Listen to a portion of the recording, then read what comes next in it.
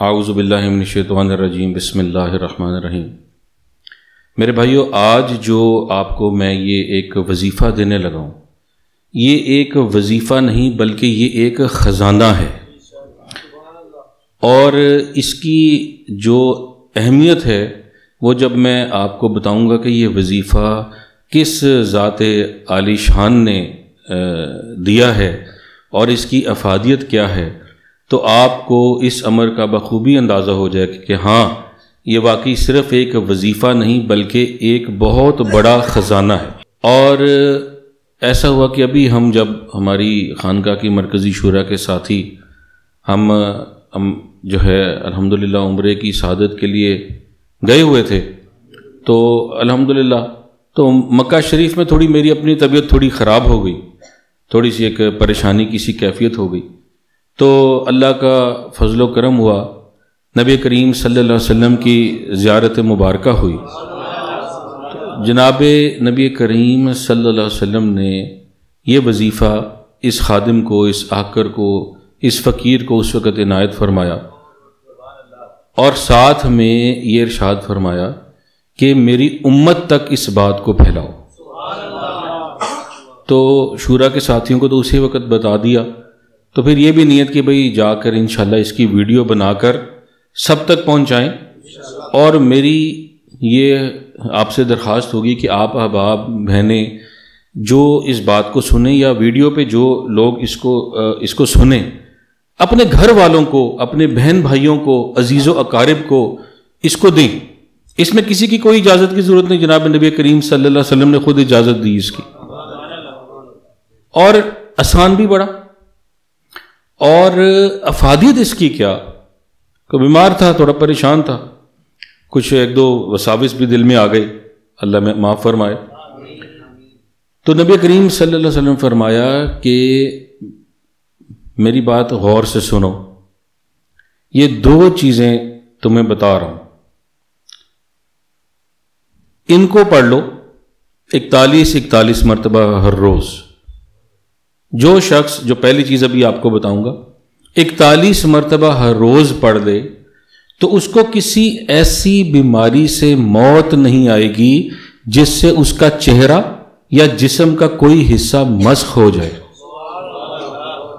देखो ये कितनी बड़ी बात है, कितनी बड़ी बात है।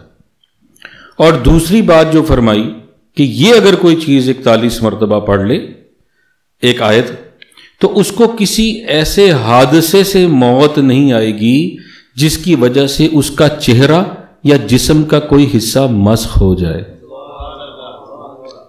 तो मेरे भाइयों, मेरी बहनों, कितनी बड़ी और अजीम बात है कि हम जब इस दुनिया से जाएँ तो एक ईमान की हालत में जाएँ, दूसरा, यार, खैर से जाए। खैर के साथ, आफियत के साथ, आफियत वाली मौत हो हमारी। और कोई खुदा न खासा, खास्ता ऐसी हादसे वाली या किसी ऐसी बीमारी से कि अल्लाह माफ़ फरमाए, कोई और अल्लाह ताला ऐसे मतलब मुसीबत से बचाए। तो इसकी मेरे भाइयों, मेरी बहनों, आप तमाम लोग इसकी रोज़ाना, इसकी आप ना इसकी आप पकड़ लें इस बात को कि आप इसकी तलावत करें। फिर हजूर ने फरमाया, इस खादिम को, इस हकीर को, इस फ़कीर को कि इसके अलावा भी इसके पढ़ने के बेशुमार फजाइल हैं। अब हम इस बात को जहन में रखें कि ये वजीफ़ा देने वाली कौन सी ज़ात है अली शाह? तो सब लोग इसको पकड़ लें। बड़ा आसान है। और लाजमन इसको करें। एक जगह पर बैठकर अवल आखिर रूशी पढ़ लें। तीन दफ़ा, पाँच दफ़ा, सात दफ़ा, ग्यारह दफ़ा, जैसे आपको आसान लेकिन जो भी पढ़ें, फिर हमेशा उसी का मामूल रखें।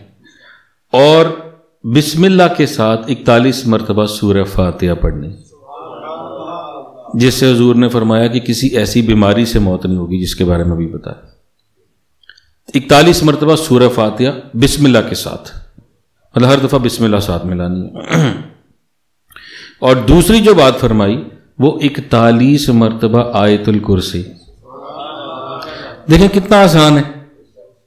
कितना आसान है? किसी ऐसे हादसे से मौत नहीं होगी जिससे इंसान को ऐसे कोई चेहरा बदल जाए या जिसम में कोई ऐसी बात होगी मेरे भाइयों, ये बहुत बड़ी बात है।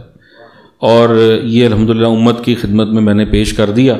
आप तक पहुँचा दिया। आगे भी जो आते हों, आएँगे मेरे पास खान का मैं उनको भी बताता रहूँगा। और मेरे भाइयों, मेरी बहनों, आप भी इसको आगे फैलाओ। आप भी उम्मत तक इसको फैलाओ। और जो आपको दोस्त, अहबाब मिले, कोई रिश्तेदार, अजीज़ो मिले, उन तक ये पहुंचाओ। उनका बताओ कि ये बात हम तक ऐसे पहुँची है और अल्हम्दुलिल्लाह, उम्मत के हर एक उम्मती तक ये बात पहुँच जाए। तो इन इसके बेपना फ्यूज़ बरक़ात हैं सूर्य फातिहा के, आयतुल कुर्सी के। तो कितनी कितनी परेशानियाँ मुसीबतें इन अल्लाह के हुक्म से, नबी करीम सल्लल्लाहु अलैहि वसल्लम की बरकत से इन हमारी हल हो जाएँगी। तो अल्लाह मुझे और आपको रोज़ाना की बुनियाद पर इसको पढ़ने की तोफ़ी अता फ़रमाए। वसल तरी खलकही महमद व आली वसाब अजमाइन। बरहमत या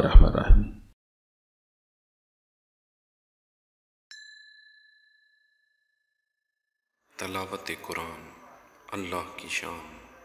तलावत कुरान, अल्लाह की पहचान।